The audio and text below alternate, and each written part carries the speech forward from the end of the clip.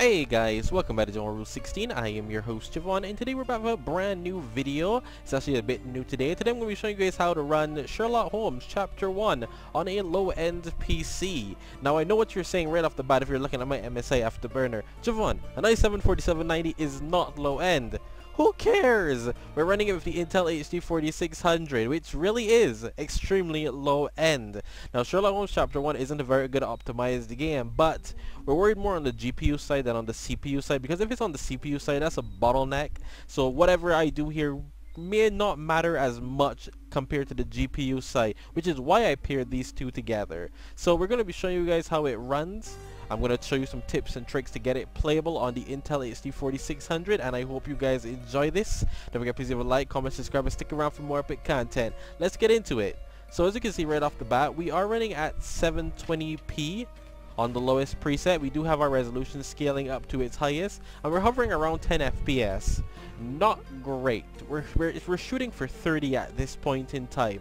So what I'm going to do, because the Sherlock laying down on the ground there is actually in-game, so once I change the settings, it actually goes up because it is in-game. So the resolution scaling, I believe, is around 50% at this point, and we're getting about 15 FPS on average. Let's get into the game and see how it actually plays in-game now as you can see, here we are in game and we've dropped back down to the 9 FPS once again. As you can see, Sherlock Holmes Intel HD 4600 is not playable at the start of it. Now, I'm running at the 3D the DirectX 11 because DirectX 12 doesn't work on the Intel HD 4600. The game won't even launch that way. I actually had to go, I'll actually show you guys when I go back in, but you actually have to go into the, make the game a shortcut and type force direct 3d 11 to get it to run in direct 3d 11 so as you can see we're hovering around 11 fps mainly for the most part. This is not acceptable at all but I have some trips and some, some tips to get this here just a, a bit better. Let's get into it Alright, so we're going to be looking for the config file for Sherlock Holmes, which you'll find in your local C drive.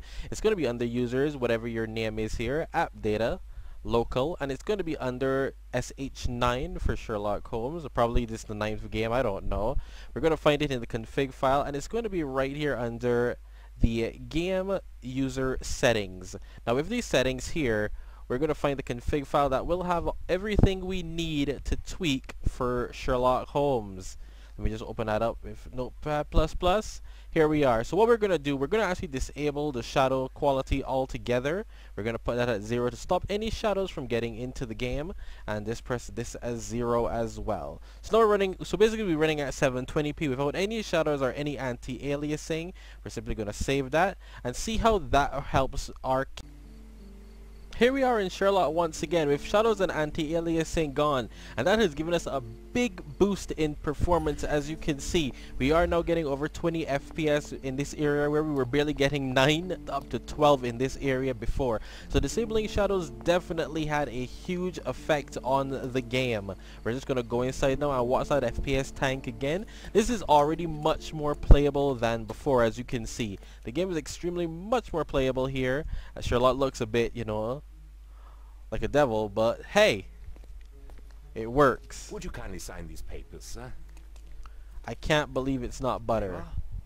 Ah, Mr. Holmes. Uh, yes, we have room 221 prepared for you. I see it was reserved for two.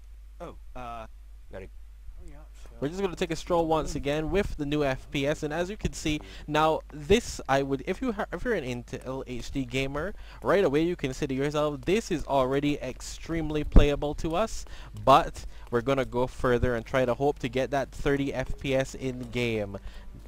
Not the worst not the worst.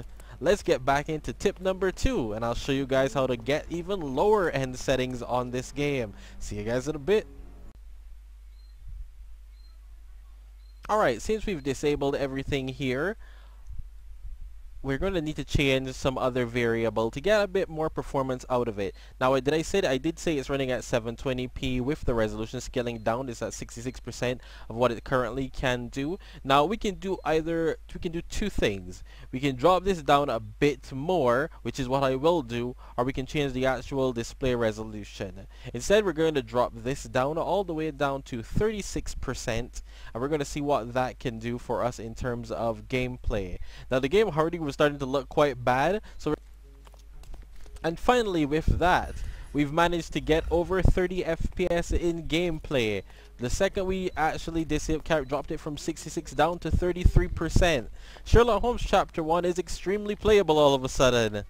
We've somehow managed to do it. It's not dropping below 30 FPS anymore. We've somehow managed to get this game somewhat playable on the Intel HD 4600. Yes, we will have dips every once in a while, but I haven't seen it dip below 30 at this point. Which is quite impressive, to be honest with you. Yeah, it looks like crap. Sir, but your room is not yet ready. Perhaps, in the meantime, you would like to relax in the foyer? Tonight, the restaurant is offering a complimentary marlin ceviche to all our guests. Let's check what they have on offer. Let's check what they have on offer. Now, for most people, I would say that this is enough.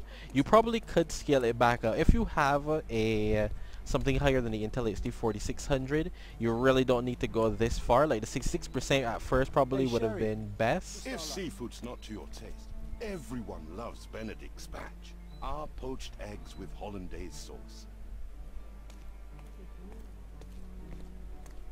Yeah, like I was saying, if that's not enough, we can you can drop the resolution, scale it down a bit more, or simply change the resolution itself. it's not like I do believe this is fine for most most games though. As you can see, we are pushing the GPU to its limit here, way over Excuse me, sir. what it should be capable of, but it has not dropped below 30 FPS.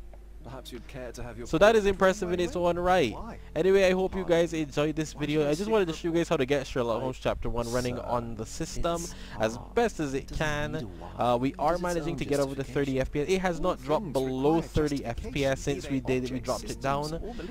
I believe I could have bumped it up to 40%. Probably would have still looked, you know, somewhat decent, but.